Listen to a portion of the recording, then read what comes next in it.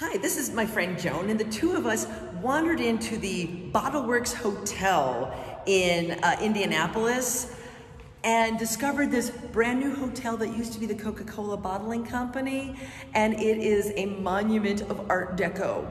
So we're like hyperventilating, wandering around here. Check out the doors, check out the ceiling,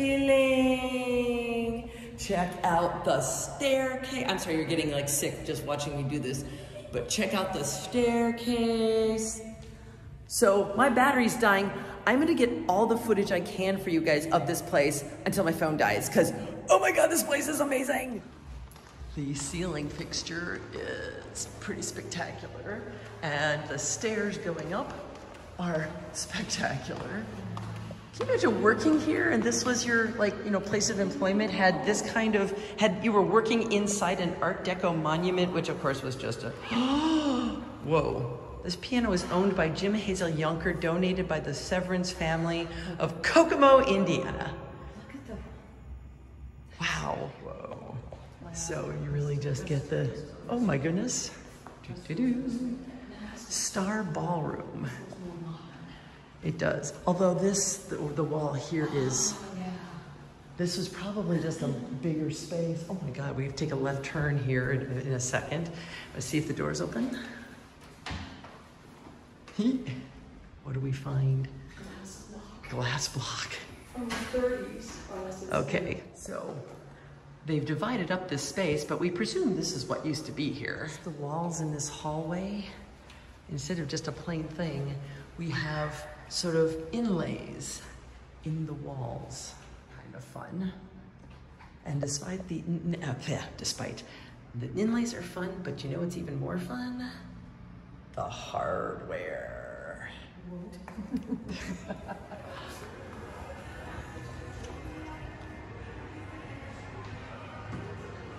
This is just an absolute monument.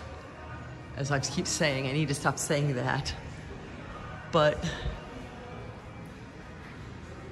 sort of have to just back up to be able to appreciate the wall, the tiles, and check out the grapes. The girls are so good. But it is a very interesting it's like the replacement of molding. I have my ca- canvas sleeve molding from other eras, and here we've got this Art Deco motif. Apologize for the glare, but here is some a, a photograph of what this lobby looked like when it was the bottling company. So then and now. This desk is I think modern, but they did a good job of making it fit in. This is probably all modern, but we're gonna we're peeking in here. They've got you know restaurant, conference center. Oh my. Okay, the bar's kind of fun. Mostly modern, very modernized, but you can see the remnants from the walls here. Oh, it was a factory after all. the street from the hotel we've been uh, admiring is the garage. We assume that's where the uh, bottling company uh, cars, delivery trucks used to be. But let us back up so that you can actually get appreciation for the front of the Bottleworks Hotel.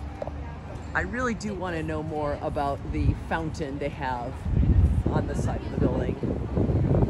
And uh, when you go around the corner and look down the side, the Art Deco delicious bits just continue.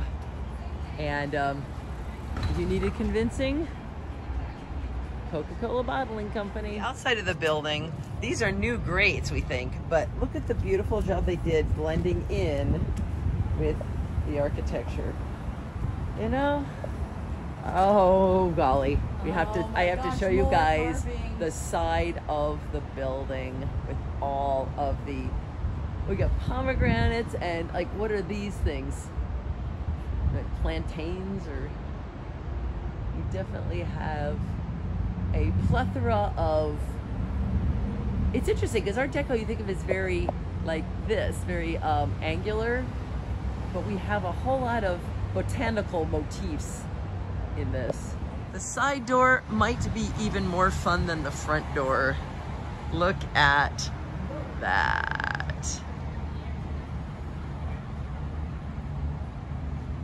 Okay, so there's the Coca-Cola sign on the, the long, what, get check out how long this building is. I mean, it was a factory, but it just goes down the block and down the block. And then when you cross the street, here we are at the garage building, and we're going in under the door that says pins. We're going to check it out. Bowling. Oh yeah, we're on the bowling side. Ha, when life gives you balls, play with them. Yeah, we needed to see that. So we have table tennis and a bar. And I think if we go past the uh, the bar,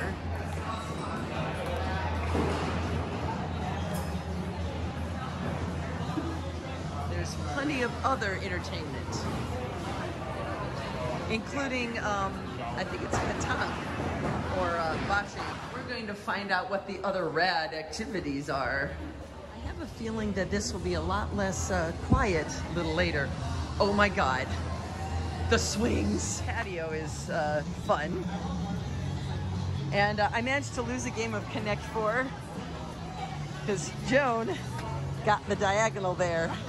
so from the far side of the building, it would be it would be really sweet when the lights are on after dark. Sorry, we're here like hours too early, but this would be really pretty.